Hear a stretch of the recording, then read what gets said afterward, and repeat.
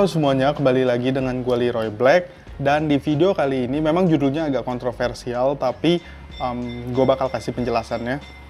Um, Sebenarnya uh, gue bikin video ini karena terinspirasi dengan video gue yang sebelum-sebelumnya yang ngomongin eh bukan sebelum-sebelumnya video sebelumnya yang um, gue giveaway. Giveaway itu uh, gue menanyakan gitu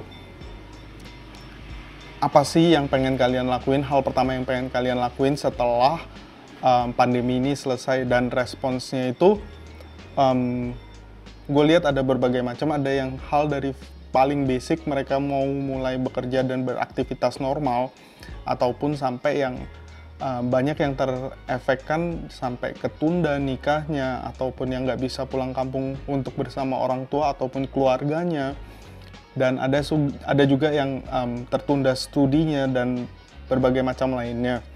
So basically COVID-19 ini um, kasih dampak buruk uh, ke semua orang, semua kalangan dan nggak peduli mau dari kondisi keuangan apa pun pasti akan terefek oleh um, pandemi ini dan itu pun juga efek gitu loh ke gue ke pekerjaan gue ke kehidupan gue dan macem-macem.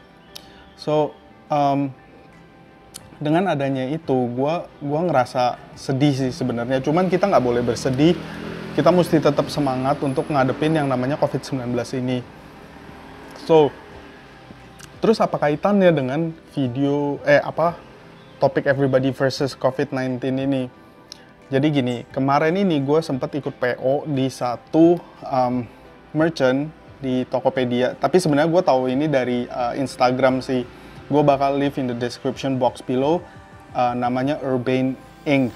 So gini, gue nggak di endorse atau apa pun. Gue cuman share ini um, untuk memberikan um, hawa positif untuk kita semua.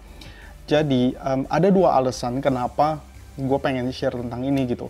So hal pertama adalah sebagian penjualan dari baju ini itu akan didonasikan untuk um, staff medis kita baik itu dalam bentuk APD ataupun dukungan-dukungan lainnya untuk staff medis yang sekarang sedang berjuang melawan COVID-19.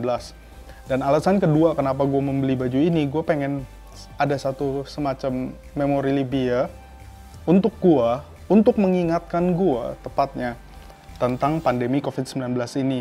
Dan Kenapa gue pengen punya memori Libya seperti itu gitu loh.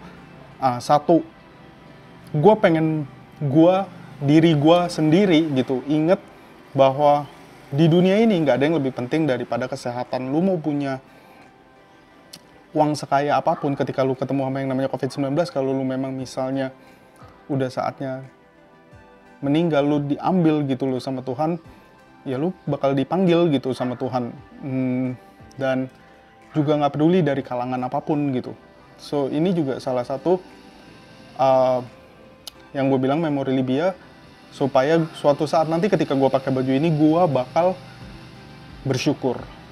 Itu sih tepatnya gue bersyukur banget dengan uh, apa pun yang gue punya sekarang walaupun uh, COVID-19 ini memberikan dampak yang buruk ke diri gue ataupun keluarga gue ataupun orang-orang di sekitar gue So, kalau misalnya teman-teman tertarik gitu, kalian bisa beli baju ini walaupun sebenarnya ya kalian bisa langsung berdonasi um, lewat kita bisa atau segala macam untuk membantu staff-staff medis. Tapi gue cuma pengen share ini karena um, baju ini merupakan satu gimana ya?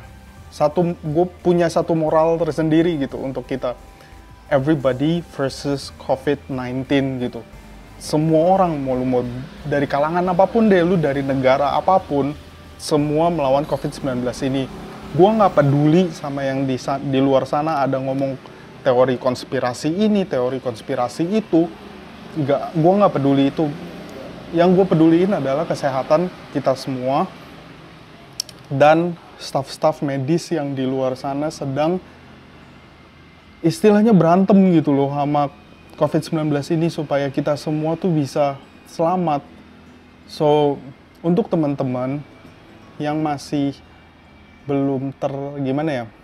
Belum tergerak, tolong bantu staff-staff medis kita dengan hal yang paling simple di rumah aja nggak usah ke mana-mana nggak usah macem-macem yang bisa kita lakuin adalah di rumah aja dan itu udah membantu banget semua staff medis kita di Indonesia so gue bakal yang kayak gue bilang gue bakal leave in the description box below.